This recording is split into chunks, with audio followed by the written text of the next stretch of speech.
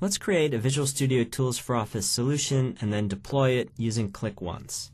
And I'm running Visual Studio as administrator because I'm going to publish to my Internet Information Server. So the first thing we'll do is create a new project. And this is going to be a Word template project called Click Once Demo.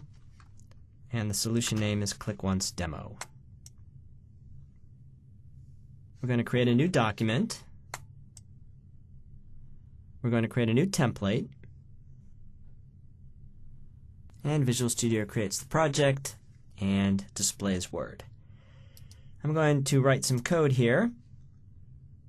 And I'm going to add some code to the startup event. So every time somebody creates a document based on this template, I want the following code to run. This dot content, which represents the main document story, insert after, and then I'm going to insert the following system dot date time dot today dot day of week dot to string.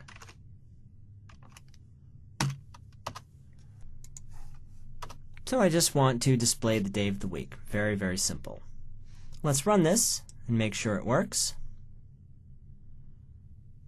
Visual Studio starts the application, which is Word, and creates a new document based on that template and inserts the day of the week. Perfect. It's exactly what I wanted, and I am now ready to deploy this to my users. So to deploy a Click Once application, I can right-click on the project and choose Publish and this will call up the Publish wizard. I can publish to a website or file path. I'm going to publish to my local IIS server. And I want the users to install this from the website. And then if I click Finish, it'll publish. But before I do this, I want to anticipate a little bit.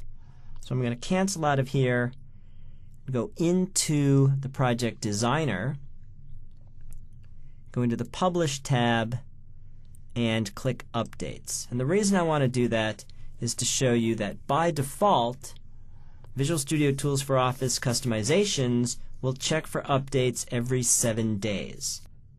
Now the reason for this is because you might have a number of customizations that run when you open the document or when you open Word. So if I double click on this template, that starts this customization. Let's say I have four application level add-ins also installed for Word. That's five customizations worth of Visual Studio Tools for Office code that are going to run every time I start Word. If all of them checked for updates every time they ran, that could add some noticeable startup time to Word. So the default is that we check every seven days. I'm going to set that to check every time the customization runs. So I could go back to here and right click and choose the publish wizard or I can publish now. And let's do that. So I published this to the IIS server. Let's go confirm that. I'm going to navigate to inetpub, www.root, click once demo, and here are the files that got added here. Let's resize this a little bit so we get some screen real estate. Setup.exe is the setup program and it includes the bootstrapper to install any prerequisites. Here's the document template. This, although the Windows Explorer claims it's an application manifest, is really a deployment manifest. And the Visual Studio Tools for Office runtime is going to read this to see A, what application should be installed, and then secondly, are there any updates? So this is the current version of the deployment manifest, and this is the 1.0.0.0 version of the manifest. And at the moment, of course, they're the same. So now I want to deploy this application. All I need to do is take the template document, I'll just copy it to the desktop, and double click on it. Notice that the Office Customization Installer comes up, knows that there is a customization to install, and then there's an error. And the reason there's an error is because I published this to Internet Information Server. And the customization installer wants to download and run the VSTO file, but IIS does not know what a VSTO file is. So I need to come into the IIS manager,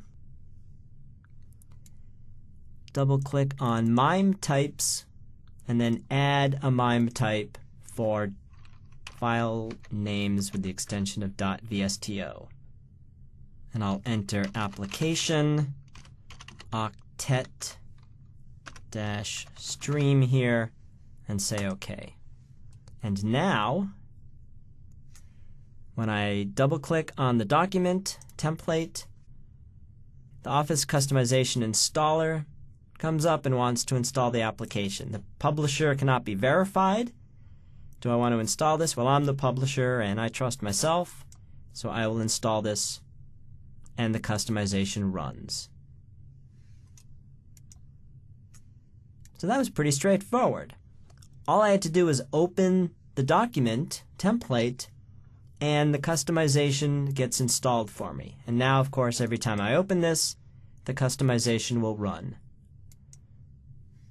Well, what about updates? One of the benefits of Click Once is that you can easily install not only the applications, but also updates to the applications. All right, let's go in and make a change. Instead of just displaying the date, I'm going to display today is and then the date. All right, let's save this and republish. And this is a fairly minor change, but worthy of an increase in the version number to 1.1. Let's publish. And now, the next time we open the document. The customization installer notices that there's an update, automatically downloads it, and installs it. And you'll notice that I was not prompted if I want to install updates, because at install time I said I trusted the publisher. And if I trust the publisher at install time, that's good enough. So when updates are published, the user will automatically get them downloaded when they open the document. One thing I should mention is that remember the first time we published this, we changed the update behavior from check at interval 7 days to check every time the customization runs. So if you had originally published this by choosing publish from here and going through the publish wizard, then the application would be installed to only check every 7 days. You could then come in and change this to every time the customization runs but in order for that to take effect, you'd actually have to come into the control panel, programs and features, and uninstall the application, and then reinstall it, which you can do just by double clicking on the VSTO file. So what you've seen in this demo is how easy it is to deploy a Visual Studio Tools for Office solution based on Office 2007 using Click Once. And it's also easy to publish updates and have those automatically installed when the user opens the document.